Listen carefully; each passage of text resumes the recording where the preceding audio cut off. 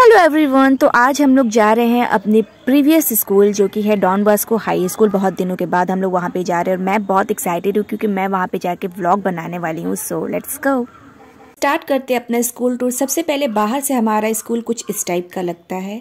ये है हमारा लोगो आप देख सकते हैं। फिर इंट्रेंस पे आ जाते हैं। तो इंट्रेंस पे ये बहुत अच्छे से लकड़ी से वर्क हुआ है। अंदर की तरफ़ चलते हैं तो ये है हमारा ब्लॉक वन जहाँ से क्लास वन से सेवन तक के बच्चे पढ़ते हैं इस ब्लॉक में। देख सकते हैं कितना ब्यूटीफुली इसको डिज़ाइन किया गया है। और ये है, बहुत सारे रास्ते हैं जाने के लिए मतलब तीन चार सीढ़ी हैं। इधर से ये है हमारा टेनिस प्लेग्राउंड जहाँ पर टेनिस के अलावा भी बहुत सारे गेम्स खेले जाते हैं, जैसे कि कबड्डी हो गया खो खो हो गया।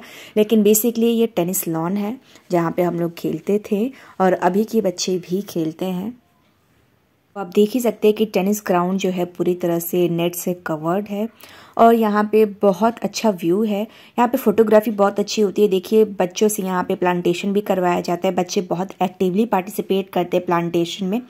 और यहाँ पे जो एरिया है छोटा सा, यहाँ पे क्रिकेट की स्पेशल ट्रेनिंग दी जाती है, जो बच्चे मतलब क्रिकेट खेलते हैं उसके लिए। ये है हमारा प्ले क्लास यानी कि यहाँ पे नर्सरी के बच्चे पढ़ते हैं और ये ब्लॉक टू है, जहाँ नाइन्थ से ट्वेल्थ के बच्चे पढ़ते हैं। और ये हमारा पहले स्टाफ रूम था, लेकिन अब इसको बना दिया गया है play sport room I think तो बहुत अच्छा है ये। और फिर ये हमारा रास्ता है जाने का। ये जो दो डाइवर्जेंस आपको दिख रहे हैं, अगर आप राइट की तरफ़ जाएँगे तो प्ले क्लास में जाएँगे लेफ़्ट की तरफ़ जाएँगे तो सेकेंडरी क्लास में। तो ये तो प्ले क्लास का था और ये है हमारा सेकेंडरी क्लास का, जो कि नाइन से ट्वेल्थ स्टैंडर्ड तक के बच्चों का है। अब ये है एडमिनिस्ट्रेटिव ऑफ़िस यहाँ पे एडमिशन के सारे प्रोसीजर्स होते हैं, जितने भी न्यू एडमिशन होते हैं, यहीं पे होते हैं। इस टेबल में मेडिसिन रखी जाती है, बच्चों को कभी तबीयत खराब हो गई, यहाँ पे वेटिंग एरिया बनाया गया है, जहाँ पे पेरेंट्स वेट कर सकते हैं, अगर वो बच्चे को लेने आते हैं तो या फिर न्यू एडमिशन कराने आते हैं तो ये बहुत अच्छा है यहाँ पे। और यहाँ पे जो है वाईफाई भी बहुत है।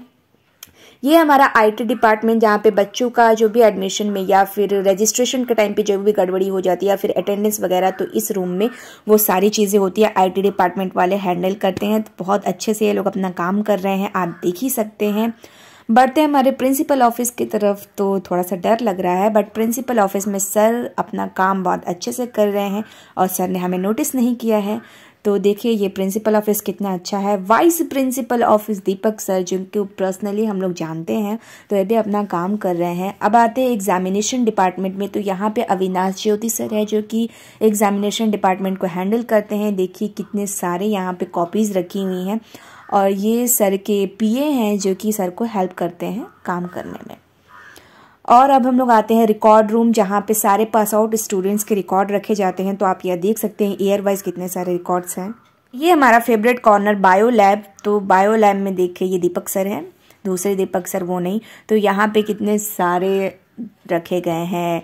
हार्ट है हमारा, फिर आई है, फिर डिफरेंट डिफरेंट सिस्टम्स है लाइक एक्सक्रेटरी रिप्रोडक्टरी बहुत सारी चीज़ें हैं।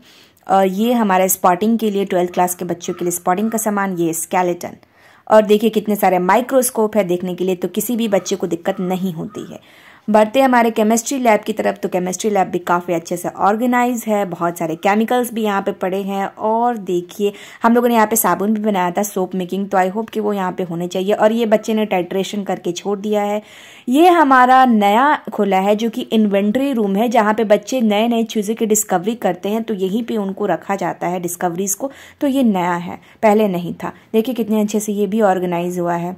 अब बढ़ते हैं कंप्यूटर लैब की तरफ़ तो बच्चे हर एक कंप्यूटर पे एक ही बच्चा है। कोई भी गैदरिंग नहीं होती है बहुत पीसफुली क्योंकि बच्चे ज़्यादा है तो रोल नंबर वाइज दो क्लासेस में हो जाता है। और ये है हमारी लाइब्रेरी जो कि मुझे पर्सनली बहुत पसंद है। इसका जो लुक है वो इस बार चेंज कर दिया गया है। पहले सीट होती थी जिसपे नहीं होता है कि एक पे दो बच्चे बैठेंगे। अब इसका लुक कुछ इस तरह से है तो मुझे बहुत पर्सनली मुझे ये बहुत पसंद आया। और यहाँ पे बुक्स है, उसके अगले साइड आप बैठ सकते हैं तो बुक हर किस्म की होती है। ये है फिजिक्स लैब देखकर ही पता चल गया प्रिज्म वगैरह। यहाँ पे बुक भी रखी हुई है, ताकि आप लोग को परेशानी ना हो।